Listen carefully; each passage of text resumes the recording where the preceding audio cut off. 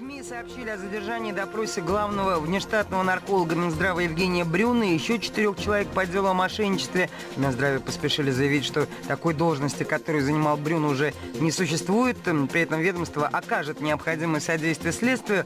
По данным Интерфакса, Брюна проверяют на причастность к истории с введением новых правил медосмотра водителей. СМИ сообщили о допросе главного внештатного нарколога Минздрава. По информации сразу нескольких изданий, Евгений Брюн и еще четыре человека задержаны задержаны в Москве по делу о мошенничестве, в Минздраве заявили, что ведомство окажет необходимое содействие следствию, а Брюн уже не является главным внештатным наркологом, поскольку такой должности больше не существует, хотя еще 11 августа она значилась на сайте министерства. Как сообщил Интерфакс, Брюна проверяют на причастность к истории с введением новых правил медосмотра водителей. По данным агентства, следователи работают также с Владимиром Якушевым, вице-президентом Ассоциации наркологов, которую возглавляет Брюн. Подробности как пишет «Известия», проверка в отношении Евгения Брюна проводилась еще в начале 2020 года. Сообщалось, что он может стать фигурантом дела о мошенничестве из заведенных в конце 2019 года новых медсправок для водителей. ФАС по поручению прокуратуры Москвы исследовала деятельность ООО «Медиатрейд». Компания была единственным поставщиком оборудования для проведения дорогостоящего анализа на алкогольную зависимость, который по приказу Минздрава с осени 2019 года требовало сделать всем желающим получить водительские права. Прокуратура столицы также проверяла связь компании с Брюном и его коллегами коллегой Владимиром Якушевым. Медицинское издание Vademecum указывает, что две недели назад комиссия ФАС признала Медиатрейд и еще 10 поставщиков виновными в картельном сговоре на 30 торгах в 2017-2019 годах на общую сумму 125 миллионов рублей при поставке медоборудования и реагентов для проведения тестирования на обнаружение следов алкоголя и наркотиков. Материалы антимонопольного дела были переданы в правоохранительные органы для решения вопроса о возбуждении уголовного дела по факту ограничения конкуренции, уточняли в ФАС. Известия указывают, что фигуранты подозреваются в мошенничестве в особо крупном размере и растрате. По данным издания, обыски по делу уже прошли по 27 адресам. Версия произошедшего комментирует председатель коллегии адвоката ваш юридически поверенный Константин Тропоидзе. То, что просочилось в прессу, то, что есть, якобы речь шла о закупках тест-полосок, тестовых систем для определения наркотиков биологических средов крови в моче. Изготовлением этих тест-систем занималась какая-то компания, связанная связанная с ним, либо принадлежавшая ему. Ну и там речь якобы идет о намеренном завышении, может быть там с мошенничеством на коммерческий подкуп, потому что закупкой этих вещей занимался Минздрав. Еще есть какая-то информация о том, что он был заинтересован в том, чтобы стали привлекать за употребление наркотиков, поскольку это увеличивает количество используемых тест-полосок. Насколько это правда, это может быть фейком, но сразу вот такие истории обрастают какими-то такими вещами, что там на самом деле будет понятно со временем, когда прессу или достоянием общественности станет постановление о привлечении в качестве обвиняемого. Там будет более-менее фабула изложена. И то это не всегда бывает достоверно и исчерпывающе. Константин Тропоидзе, председатель коллегии адвокатов, ваш юридически поверенный. Евгений Брюн известен как организатор первого в Советском Союзе телефона доверия для наркоманов. Позднее он же создал первую в стране клинику для добровольного конфиденциального лечения людей с наркозависимостью. Пост главного внештатного психиатра, нарколога Минздрава Брюн занимал с 2009 Он имеет ученую степень доктора медицинских наук и звание профессора и заслуженного врача России. Недвижимость за рубежом и примерно 130 миллионов рублей в разной валюте. Все это обнаружили у бывшего рядового инспектора московской ДПС. Генпрокуратура обратилась в суд с иском о конфискации активов. По следам полковника Захарченко у бывшего московского инспектора ДПС Сергея Кузнецова обнаружили десятки объектов недвижимости и миллионы рублей в разных валютах. Генпрокуратура уже обратилась в суд с иском о конфискации этого имущества. Как говорится в заявлении ведомства, инспектор ДПС Сергей Кузнецов служил в ОГИБДД по Северо-Восточному округу Москвы. За время службы, по данным Генпрокуратуры, он приобрел не только автомобиль, но и 23 объекта недвижимости, в том числе 7 в Арабских Эмиратах и Болгарии. Часть оформил на себя, часть на родственников. Кроме того, в банковских ячейках Кузнецова нашли почти 24 тысячи евро, 60 тысяч долларов и 48 миллионов рублей. Общая стоимость всех активов инспектора составила 130 миллионов рублей. Откуда они были получены, инспектор пояснить не смог. Генпрокуратура направила иск о конфискации активов в пользу государства.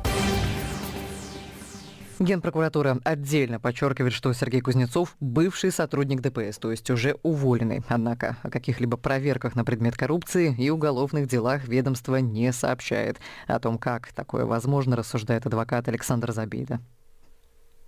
Любопытно, конечно, что Генеральная прокуратура заинтересовалась имущественным положением рядового сотрудника ГИБДД. По всей видимости, это какая-то внутриведомственная разборка. Просто так на митинском рынке базы данных имущества бывших сотрудников в Эмиратах или Болгарии или других странах окупить нельзя. Уж тем более нет никакого реестра имущества, хранящегося в банковских ячейках. То есть этой информации нет даже в самих банках. Что касается проверки на коррупцию, то тут тоже все так просто. Она может проводиться, может не проводиться. Две абсолютно разных процедуры. Не существует какого-то официального реестра взяток, чтобы можно было, например, вбить фамилию какого-то сотрудника и посмотреть, сколько он насобирал. То есть разве что, если только такой сотрудник сам записывал, или его жена или родственники вели такой учет. Но задним числом проверять сотрудника на коррупционность – это крайне такая сложная и муторная затея. В целом нет ничего удивительного в этом иске. Органы прокуратуры периодически выявляют имущество, которое оформлено на госслужащих и друзей и родственников, выходят с иском в суд об истребовании такого имущества в пользу государства. Эти иски не очень приятные, там практически не действует презумпция невиновности. Формула проста. Если ты друг или родственник чиновника, и у тебя есть имущество, источник финансирования, которого тебе сложно или по каким-то причинам не хочется раскрывать, то надо быть готовым, что крайне вероятно такое имущество перейдет к государству. Безусловно, такие процедуры применяются не всегда и не ко всем чиновникам, а очень выборочно, но это почти всегда происходит внезапно для друзей или родственников.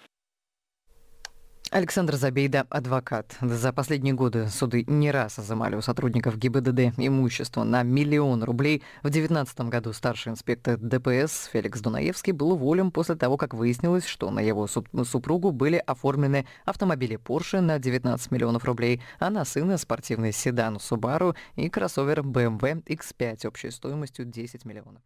Мэр Краснодара Андрей Алексеенко, которого задерживали по подозрению получения взятки в виде ружья стоимостью более полутора миллиона рублей, вернулся к исполнению своих обязанностей, сообщил ТАСС. Алексеенко тот самый мэр, который при вступлении в должность оговорился, от нас ждут разговоров, а не конкретных дел. Мэр Краснодара Андрей Алексеенко вернулся к исполнению своих обязанностей, сообщили ТАСС в администрации города. Ранее Алексеенко задержали по подозрению получения взятки в виде ружья стоимостью более полутора миллионов рублей. Алексеенко тот самый мэр, который при вступлении в должность должность оговорился, от нас ждут разговоров, а не конкретных дел. На новом посту он проработал чуть больше месяца. Ну, известен мэр столицы Кубани не только своей оговоркой. Евгений Пельчук подробнее. Дело против 43-летнего Андрея Алексеенко завели по материалам местного управления ФСБ. Прошли обыски и в кабинете, и дома. Следствие уверено, что Алексеенко был замешан в коррупции. Принял многоквартирный дом в Прикубанском округе Краснодара, построенный с кучей ошибок, а взамен получил ружье ценой в миллион шестьсот тысяч рублей. Это считается особо крупным размером. По статье мэру Краснодара грозит до 15 лет. Хотя цена ружья не то чтобы заоблачная, отмечает эксперт в сфере оборота гражданского оружия Глеб Обуховский. Это нормальное явление. Есть ружье такое такой стоимости, безусловно. Есть и дороже, это не самое дорогое ружье, поверьте. Марок-то на самом деле куча может быть. Там же еще все зависит от отделки, от всего прочего. Я помню там году в 90, наверное, восьмом, что ли, фирма Холланд Холланд сделала ружье под спецзаказ. Его стоимость была около миллиона долларов, она тогда была, для русского. А это, так получается, что... не охотничьи ружья, да? То есть они как коллекционные да или почему? что? Охот... Да почему? Охотничьи. Спокойно с них можно ходить на охоту. И более того, эти люди с ними ходят даже на охоту. Андрей Алексеенко закончил Кубанский аграрный университет. В конце 90-х работал помощником мастера по ремонту. Успел побыть и садовником, и штукатуром, и инспектором службы безопасности. В 2007 году попадает в администрацию Краснодара и периодически меняет должности. С начальника отдела до замглавы нескольких районов края. Отвечал за капстроительство и ЖКХ. Президент местной федерации волейбола и правая рука губернатора Вениамина Кондратьева, как его называли местные СМИ. У него доли в двух земельных участках и семи нежилых зданиях, а также квартира на 100 квадратных метров. Доход за прошлый год 3 миллиона рублей. В должность мэра Краснодара вступил 17 ноября. Его единогласно выбрала Гордума. Там же случилась его известная оговорка, вспоминает местный журналист Сергей Бурцев. Он был первым вице-губернатором с октября, кажется, 2015 года, и он занимался застройщиками, то есть достраивал долгострои, встречался с обманутыми дольщиками, ну и вот в медийном поле он именно этим известен. Соответственно, все стройки, можно сказать, через него шли. Когда он вступал в должность мэра, он оговорился и сказал, что будем делами, а разговорами заниматься. Это первое. А второе, известный такой скандал, вот два, два с половиной, может, назад было, когда они были с губернатором Кондратьевым в Армавире, кажется, на совещании, и оказалось, что у них там в ящике стола лежал диктофон, и записал их разговор между собой. Можно его найти по ключевым словам «Единая Россия сдохла». То есть они обсуждали перспективы на ближайших выборах. В Краснодаре в среду пошел первый снег, и задержание Алексеенко, по словам журналиста, было как снег на голову. Местные не могут припомнить, чтобы Алексеенко ранее был замешан в коррупционных скандалах, но опрошенные нами журналисты заметили, что у мэра была команда людей с сомнительным прошлым. Через одного они имели проблемы с законом. Сам Алексеенко за такой короткий срок мэрства успел только составить планы, говорит корреспондент информагентства «Краснодар Медиа» Дмитрий Мирошников. Господин Алексеенко зашел на город в конце осени. Сейчас конец декабря, то есть буквально там около месяца прошло. Проблема в том, что Алексеенко не успел завершить формирование своей команды. Отменился как бы рядом вещей по наведению порядка. Вот он устранял какие-то аварии, он э, переформулировал какие-то вещи. Мэр начал заниматься городом, начал решать какие-то проблемы, опять же, проблемы застарелые, внешний вид улиц. То есть он начал как бы работать. Единственное, что вот почему он отметился тем, что он отменил онлайн-трансляцию своих планерок для жителей города, для общественности, это было важно. Новый мэр сказал, что это пиар, как бы мы пиариться не будем, будем, поэтому мы будем работать в старом режиме, то есть уже постфакту будут появляться сообщения СМИ. В этом году это уже пятое громкое задержание крупного чиновника за взятки. До Алексеенко были министр культуры Крыма Вера Новосельская, в Рио вице-губернатор Владимирской области Григорий Вишневский, губернатор Пензенской области Иван Белозерцев и министр здравоохранения Алтая Сергей Коваленко. Сейчас дорогое ружье у Алексеенко изъяли, а «Единая Россия» приостановила членство мэра Краснодара в партии. Это стандартная процедура для обвиняемых сопартийцев.